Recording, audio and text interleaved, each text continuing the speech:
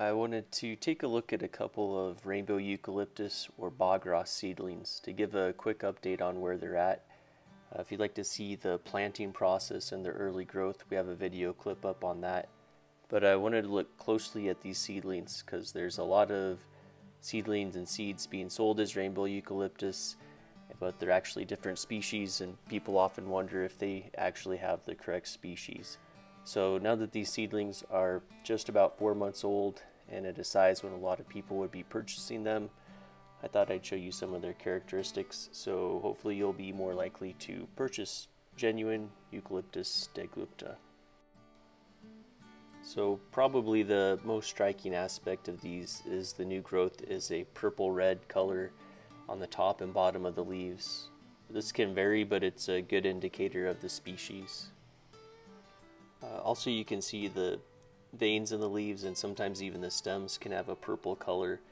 As the leaves age that purple disappears and the leaves are dark green. Also if you look at the leaves they're opposite each other so one leaf is growing directly on the opposite side of the stem from another leaf and as each new pair of leaves is put on they grow at about a 90 degree angle from the set of leaves that they're above uh, and this seedling's interesting because if you look at the bottom of it, you can see the tiny first leaves there that uh, grew after the seed sprouted.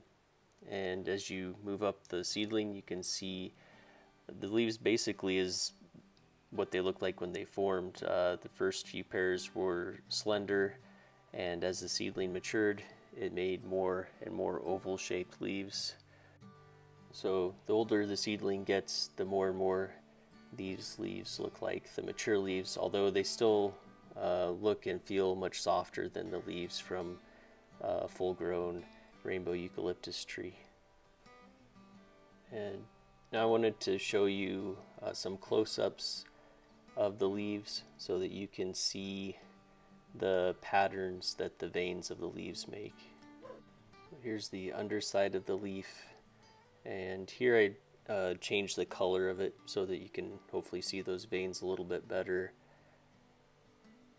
You can compare that to any leaves that you're looking at of a seedling. Here's the top part of a leaf. This is the color's not changed anymore on these.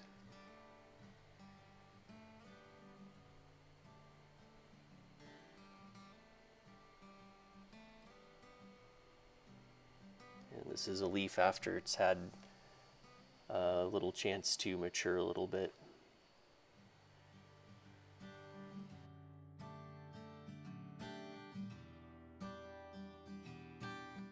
Uh, something else that I noticed about these seedlings is how they grow new branches out of the main stem.